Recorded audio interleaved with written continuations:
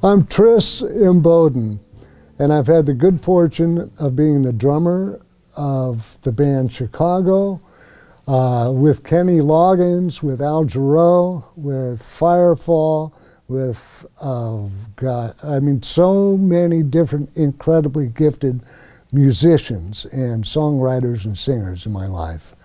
I'm so happy to say that having had the good fortune that I have, um, I've gotten to play on a lot of great records. And uh, I mean, really great records, Grammy Award winners and that, uh, with some incredible artists. It was actually my wife, Mary's idea to put a band together, kind of celebrating um, all of those records, as well as with all the, the good buddies that I have that have played on, on those records as well. With this new uh, genre of music called yacht rock, which isn't so new, I guess it actually the term was co coined in 2005 or so, originally by some guys that were doing uh, skits on YouTube, putting beards on and acting like Kenny Loggins or Michael and Michael McDonald and Peter Cetera and all. It started as a spoof but now it's blown up into this big musical genre. Uh, there's radio stations that play yacht rock exclusively. And uh, anyway, I've been a part of those records. And so uh, it was my wife's Mary, Mary's idea after having played with Ringo, being asked to play with Ringo uh, and his concept of the Ringo All Stars, I've decided to put together the Tris Imboden Yacht Stars. And uh, I'm so excited about it, and I've got a, a band of absolutely brilliant musicians and singers, and uh, all of which have flesh in the game. And uh, so that's what we're doing. I, have got, and you'll see, hopefully, you'll hear, hopefully. Um, so far, it's killer. It's just coming out so great.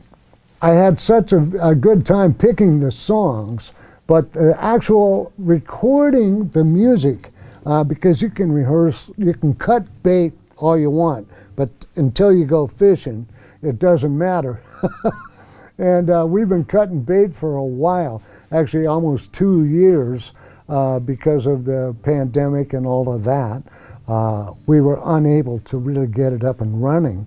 Uh, but now that we're, we're in the studio recording uh, our sizzle reel uh, that I'm so excited about, God, uh, on the wide screen, this band is massive. It sounds so good.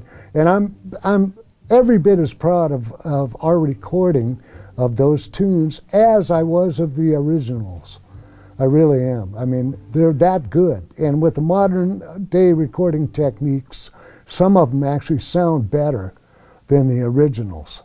Well, my name is Alan Sanderson, and I've been in this industry now for uh, well, 1991 is when I started out. So 30 years, over 30 years now, I guess.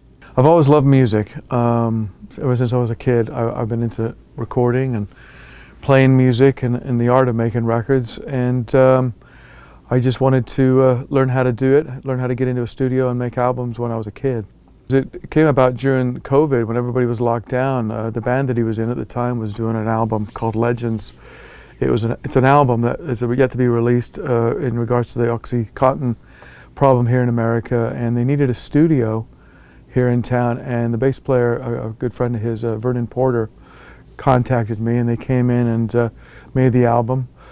Um, they recorded it in LA, but we mixed it here. So that's how I got to meet Tris. And he's been in San Diego now for quite a while. So um, we just happened to run into each other after uh, quite a few years of not being able to be in contact, which is great. Well, it's, it's really great to have, uh, I mean, the studio, first of all, here in Pacific Beach, Pacific Beach Recording, I've set it up because I want to be able to record great musicians. So having to work with these guys at this capacity in the studio was a treat for me because it's all about audio. So the better the player, the better the audio, and you know, they're just amazing individuals. It's great to have them in here. All, all, the tunes were great. I mean, I've worked on these songs at different levels with many different bands throughout the years, but to actually work on these songs with the real guys was a big bonus and a treat for me.